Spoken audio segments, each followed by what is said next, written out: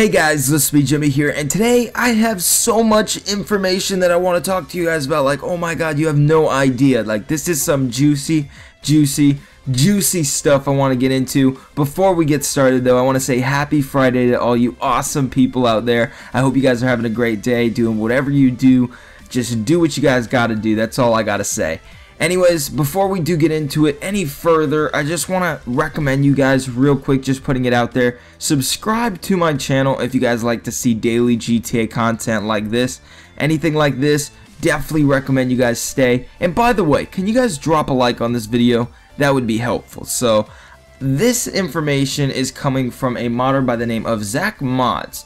Now, this is some um, information that was found within the source code. I have a few images I want to show you. So let's get into the Bahama Mamas right quick. This is like one of the main things you guys may want to actually hear about. So there was some textures for dancing in GTA Online, which this is pretty interesting because I could think about it like as imagine having nightclubs in GTA. Like, we got the Bahama Mamas, we definitely do have the Tiki Lala as well. The Tiki Lala isn't really used for anything, just but the heist mission, so I could see the nightclub, like the Bahama Mamas nightclub, and as well as the Tiki Lala, probably opening for you guys, just like in GTA 4, to dance and have some type of moves and shit because you guys can see on the screen right now it has dance great level down level up miss perfect ready weak. Like it's some type of just dance game. So that's gonna be pretty cool like some type of mini game. I would really like to see this in GTA Online. I mean let me know your thoughts on that. Do you guys really care about having another thing to do in GTA I mean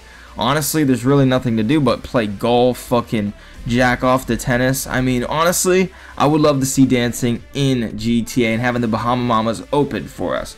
Now Zach Mods also leaked out some info on a few weapons that I guess never came with the game that were supposed to come with the game. And these are weapons that modders actually were able to take these weapons in their own like single player world and actually use these like the fire extinguisher, the blowhorn, and weapons like the rope, the shovel, and this type of axe.